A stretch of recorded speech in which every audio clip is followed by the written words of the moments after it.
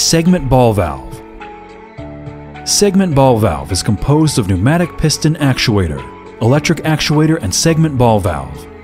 The features such as compact construction, lightweight, small volume, convenient maintains, unimpeded flow passage, low flow resistance, perfect sealing and low leakage of the valve shall applicable for controlling high viscosity, fibrous and solid particulate medium. It's widely used in electric power, chemical industry, paper making and light industry, etc.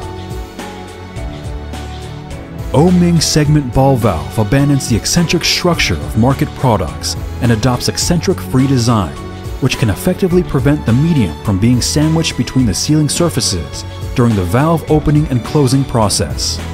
At the 30 degrees to 0 degree interval at the end of the ball's closing stroke, the ball's V-shaped cutting edge forms a guillotine effect with the metal hard seal seat, effectively cutting off various impurities such as cloth, wood residue, wire, iron wire, etc., or pulp fibers in the medium to prevent them from trapping into the sealing surface and causing valve failure. The flow characteristics formed by the valve seat and V-port opening angle have equal percentage characteristics, and the improved eccentric-free design makes the flow characteristics more accurate and can be used for flow regulation.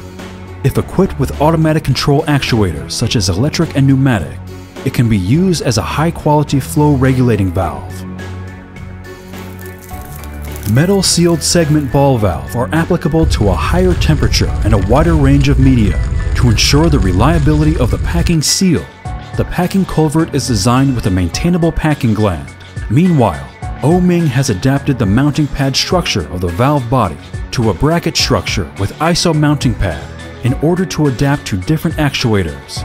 The stem packing seal can be detected and adjusted during system operation, making it easier to add or replace packing during system maintenance, while meeting the need for low fugitive micro leakage.